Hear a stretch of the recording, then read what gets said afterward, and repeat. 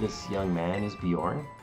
He's so good with Pokemon, even La Primera's taken an interest in him. Oh wow, oh wow, but I think the Pokemon on Team Poppy are really strong too. Oh, we only thought Team Star was the evil crime syndicate. Now we're gonna open up a whole new branch of the game, and it's gonna be Team Poppy.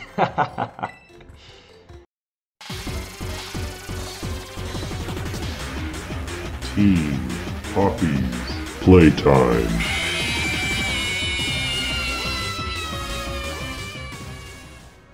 Is the lab. I used to come here to play all the time when I was a kid. Whoa, this is like actually a legit cinematic, not just me reading text. Well, I have to be reading text, I am willing to bet. Nothing's voice acted in Pokemon games, silly me. Alright, you ready for a battle, Bjorn? Excellent, you're ready too, right, Mabo Mabosstiff? Oh no, after I've spent the entire game finding the Herba Mystica to save your little Mabosstiff, we're going to get into a Pokemon battle and I'm going to irrevocably harm and damage your Mabosstiff and we're going to be right back where we started. Ah. Yep, Mabosstiff says he's ready.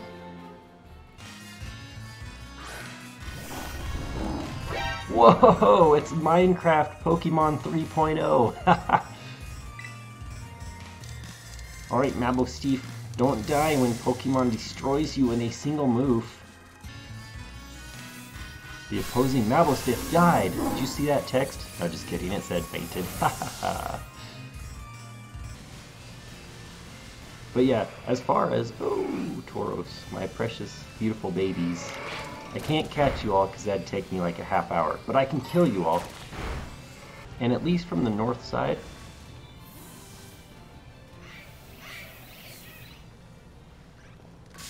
What are these?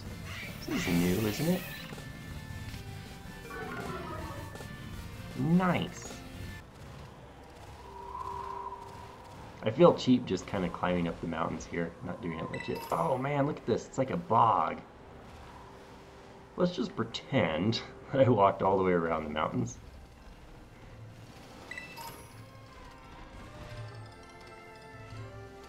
Oh, nice. It's like a bamboo forest.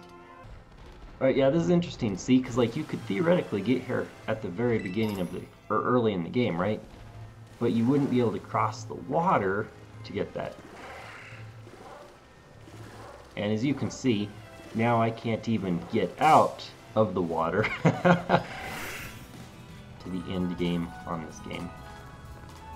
Oh, it's a Dragonite! Check that out. How do you suppose I get that beast? You fought well to make it this far. Thank you, Bjorn. Bjorn, Cassiopeia. Director Clavell, I mean... Clive. When we're finished with this base, will that be the end of Operation Starfall then? Not quite. We still need to take over the world. Uh, I mean, handle the Team Star's secret mastermind last of all. I can see that miniskirt and legs from here. You're pretty skilled. Not many trainers can shrug off my Pokemon's attacks like that. Should I say something or... Okay. oh boy. So we have like a very scantily clad gal in a short mini skirt. We could either say something or... Or get a closer look. she might try to stop this raid in its tracks by challenging you to a battle before anyone else.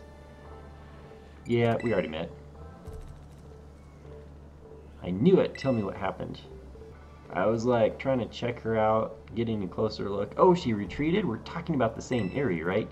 Time to wipe the Caph Squad off the map. So if they're called the Caph Squad, does that mean like she's super into her legs and thinks she has the most beautiful calves ever? You know it would be hilarious and trolly is if these battles that you can't even initiate were like shiny Pokemon. Not all of them, but like maybe just like one shiny Pokemon or two per base that you see, and you'd be like, oh, I want that, want to catch it, but you can't. Still disappointed my Pokemon never evolved into that. I know I'm not talking about the pretty girl, actually, I'm talking about the, uh, the automobile.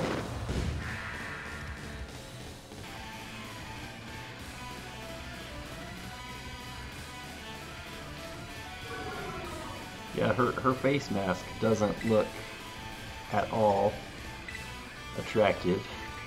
And speaking of face masks, it doesn't look like it would protect against the world's deadliest virus. But then again, um, people's face masks that they use evidently didn't. Oh snap! Um, I shouldn't be talking about such things.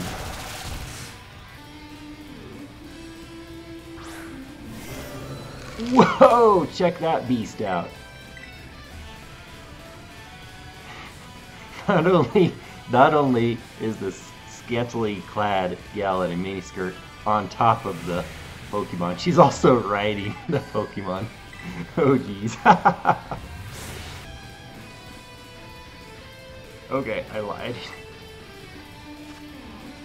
Oh no, this is special attack. It is. Okay. Never mind. I lied that I lied, so therefore I still lied, unfortunately, dang it. Now you're gonna have to get off the Pokemon. Oh, no nothing that can be said is safe anymore. I gave my all, but it wasn't enough. I wasn't enough. Maybe it's because you didn't have enough clothes on.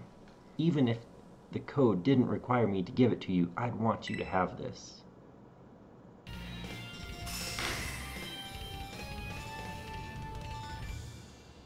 Bjorn, it's me. Did you do it? Did you claim Eri's star badge? Yes, ma'am, or sir, or it. I don't even know what pronoun you want. All five squad bosses have now been toppled from their pedestals. After that, they should soon be back attending classes at the academy. I get it. Cassiopeia is the truant officer. The true identity of the big boss is none other than me. Called it. Called it. I'll be waiting for you in the schoolyard after dark. You should come as well, Clive. Ew, gross. Sup, Bjorn? Director Clavell? Oh, come on. The name's Clive, remember? Actually, no, it's time for me to bring this little performance to an end. Allow me to reveal my true identity. It's a Zoroark! In truth, the boy you knew as Clive was none other than the director of the Naranja Academy, Mr. Clavell. No way! Yes, this must be quite the shock. My disguise was perfect, after all. Regardless, there is still one more astonishing truth I must reveal to you. I knew it! He's gonna rip off his clothes and be a Zorua.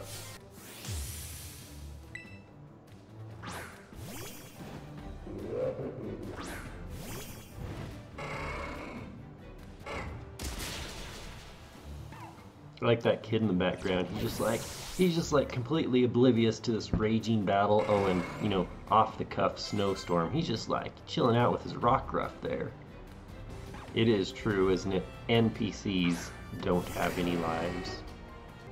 You know, we should fix that and create a completely non-profit organization called NPC Lives Matter, in which, like, you know, we won't actually buy ourselves large mansions with some of the donated funds. Quaquaval. Oh my goodness, that thing is hideous. and here, once again, I must apologize. I am not actually Cassiopeia. Thank you. From the bottom of my heart, I leave this in your hands. You there! What do you think you're doing? Uh-oh. Caught by the math person. Uh, Miss Tyme, a pleasure to see you. It's no pleasure at all, Mr. Clavell. I come here to investigate reports of an illicit battle on school grounds, and what do I find? Why, the director of the academy himself, facing off against one of our students, no less. What were you thinking? I uh, know, if I could just explain, you see, it, it is a rather sad tale. Oh, spare me your excuses, rape worse than a stunky's behind. A stunky's behind? You'll write a letter of apology to the students and faculty at once, and I'll be reporting this to the chairwoman of the school board. Make no mistake. Good gracious, no, anything but that, I implore you.